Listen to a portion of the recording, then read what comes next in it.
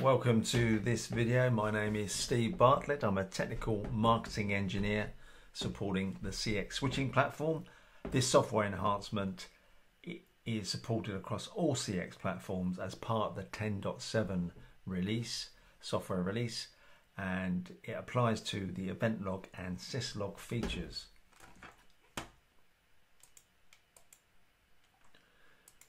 So prior to 10.7, there were concerns from our customers over three areas affecting these features. The first was the lack of filtering of events entering the event log itself in the very first place. Uh, too many unnecessary events making it difficult to read or extract information very, very quickly and efficiently. And the other one was the lack of filtering events of events directed to a syslog server and their frequency.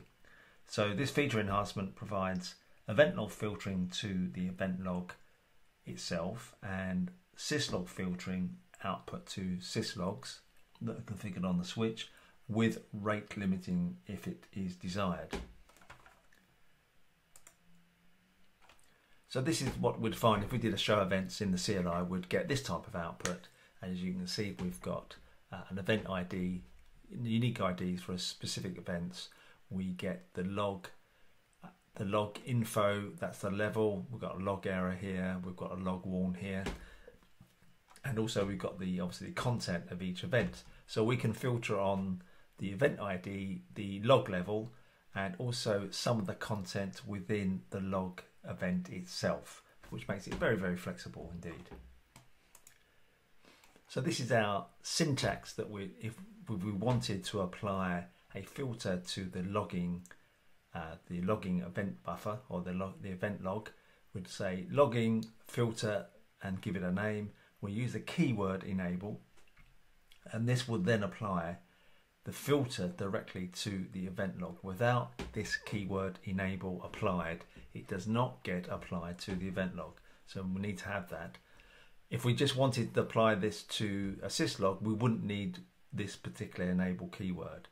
Uh, so we can apply that to a syslog. But it, does, it, it, means that it doesn't mean that we can't apply a logging filter to the event log and a syslog as well. We can do the same.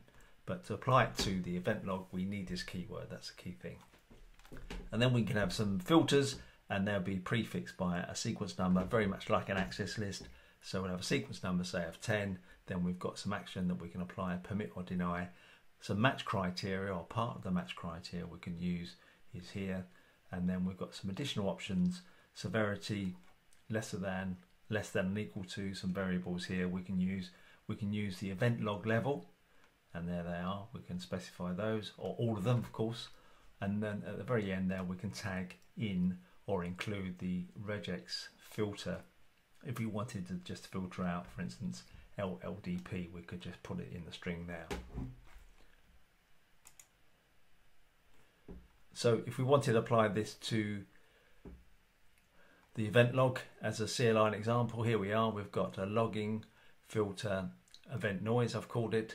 I've enabled it so it's applying to the event log and I've got some var variations of deny filtering here. So the first one is a straightforward deny on a range of event IDs. Nice and straightforward. The second one is just a slightly variation of that to present the the syntax that you can use to make it flexible 1301 and 1305 to 1390. The third one, 930, I'm denying a severity of any event log greater than info, that's being denied. 40, I'm denying events 1401 to 14228 with a severity greater than error. And the last one, I'm denying with the inclusion includes anything with LLDP or CDP, and I'm using a regex filter for that. For that, so that's a slightly different syntax, but it makes it a bit flexible if you just wanted to eliminate all events concerning something like LLDP and CDP. So remember this, use of the enable command applies the filter to the event log. Without that, it doesn't get applied. So must must have that in if we want to apply it to the event log and then the implicit permit. So if there's no matching rule found, the default action is permit. That's just like a lot of access lists, in there's always a, an implicit permit or deny, depending on which way around it is. But in this case, it's an implicit permit. The priority of the rules are defined by their sequence number. Lower the number equals higher, the higher the priority. That's just like an access list. And be aware of this if an event is denied by an enabled filters rule, if there's an SNMP trap for that event, it will not be sent. So let's have a look at the syslog filtering. So here's a CLI example. I've got a logging filter. I'm calling it event noise 2. And I've got same uh, the same CLI syntax to apply for both the event log and the syslog. It applies both ways to both filter types. So I've just got some different examples here. First line, line 10, I'm divine, denying some event ranges, uh, 105, 1728, two events. The second one I'm denying anything that includes using MSTP, um, but that's another regex filter there. And the last one denying severity less than warning, any events with less than warning, I'm denying those events. And if I didn't want to apply a filter, I just have a straightforward logging my target syslog server. Uh, if I'm using a VRF, either management or elsewhere, other than default, I'd specify that. But if I wanted to apply the filter, then I'd exactly the same string. I just tag it on with the filter uh, keyword and the filter name that I want to use. And underneath here, we've got some syslog rate limiting examples. So here I've got one going to a syslog server, a rate limit burst of 10, which is 10 syslog messages for every 30 seconds, which is the default. The next one is a variation of that. I'm changing it now to 30 syslog messages for every 300 seconds, so I can do it uh, slightly, a slight variation. This one here, I've got a different filter with a different burst rate with an interval of 33 seconds. And this one here, I've just applied a severity severity of all critical events and above. The default level is info. So if I just let that blank, it will just send everything from info up. And the last one, logging to all, all auditable, auditable events to the remote server. So I can specify that as a keyword there. So that's quite flexible that. And some caveats. Excuse me. We support a maximum of 10 filters. That's on the on the switch. Each filter can have a maximum of 20 rules. Um, one filter, as I mentioned, to control the event log itself. Only one filter per remote per remote syslog configuration, but we can have multiple syslog servers, and that means we can have multiple filters applied to each individual sys, syslog server. So one one filter per syslog, but multiple syslog servers can be present with multiple filters.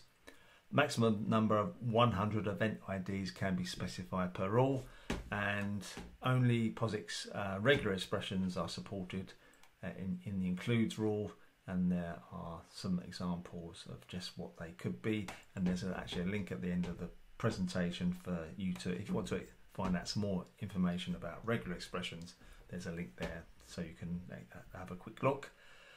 Debug logs sent to the remote syslog servers can be filtered only using regex or severity just be aware of that. Uh, we've mentioned the default action is permit if none of the rules match. Sequence ID is unique within a logging filter. If the same sequence ID is reused for a new rule under the same filter, it replaces the previous rule, so the last match, effectively.